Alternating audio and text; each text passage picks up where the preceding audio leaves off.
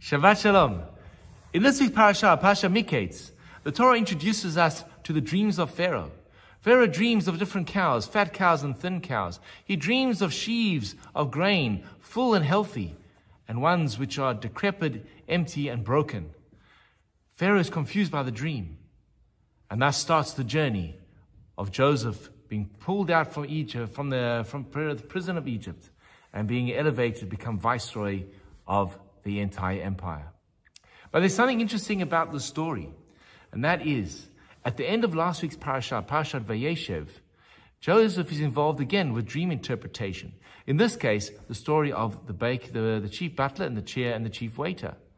In that, in that case, Joseph identifies the waiter, someone he can rely on. And he says to the waiter, listen, in three days' time, God, Pharaoh is going to, to restore you to your position. Please do me a favor. When you are there in front of Pharaoh, please mention my name. Tell them that I have been, uh, have been wrongly accused. I'm sitting here and wallowing in, in, in prison. Please do something to save me. And the parasha ends with not only does the waiter forget to do his, his task, he actually forgets completely about Joseph and two long years passed. So what for us is just merely one week between Parshat Vayeshev and Parshat Miketz. In the storyline, two years have passed away. What has happened during these two years? Joseph is waiting, expectingly, waiting every single day for the, uh, for the message to come that you are now free. But days turn into weeks, weeks turn into months, and months turn into a year, and then even two years. Joseph has to maintain his faith that God will hear his voice and that somehow he'll be uh, uh, saved and freed from this prison. And this is exactly what does happen at the end. What is the Torah teaching us? What is this fundamental principle?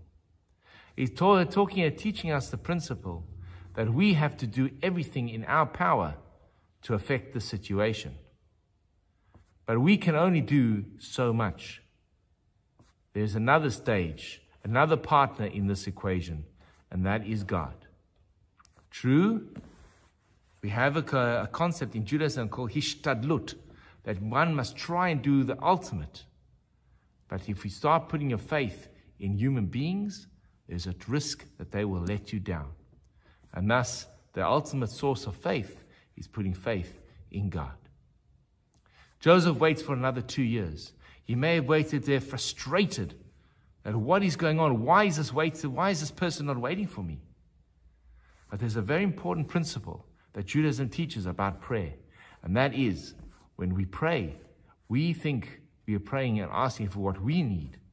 God gives us what we what what we deserve. So when we're praying, we think this is what I need. But we don't really know if this is exactly what we need. What would have happened if the waiter had gone to Pharaoh and said to him, Listen, I was saved by this, uh, this Israeli, this Hebrew child. He freed me. Do me a favor. As a jester, let him go. Joseph would, be, would have been left free to wander. And who knows where the story would have taken him. But by waiting the two years and the, and the, and the waiter forgetting the chief butler forgetting about Joseph. It meant that when the time was right and Pharaoh had a problem, not only was Joseph going to be freed, but he would be elevated to become the 2IC, the second in command of Egypt. We, uh, we, we think we know what we need. God, in his ultimate wisdom, knows exactly what has to happen, where we need to be, when we need to be. The we, the, the, the parsha is beautifully established. The Torah, the, when Chazal wrote, uh, established the system of Torah reading, they could have stopped maybe after the dreams of Pharaoh, link the two stories together.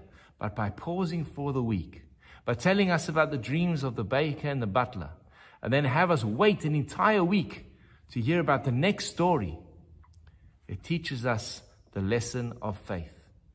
That matters how many times do we put things in place, think that this is what we need, But this is not what God wants from us at the moment. Parshat Miketz was a lesson to Joseph about, uh, about the, the power of patience, of waiting. You did everything that you had to do, and ultimately the, the waiter did remember him, and he did tell him, tell him to Pharaoh. But when he tells, uh, tells uh, introduces Pharaoh to the, uh, to the young boy, uh, dream interpreter, it is not just some kid who's doing a favor to.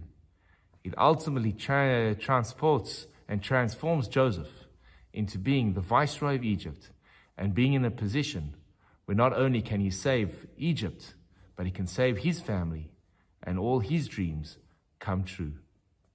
It requires a bit of faith and trust in Hashem. Shabbat Shalom.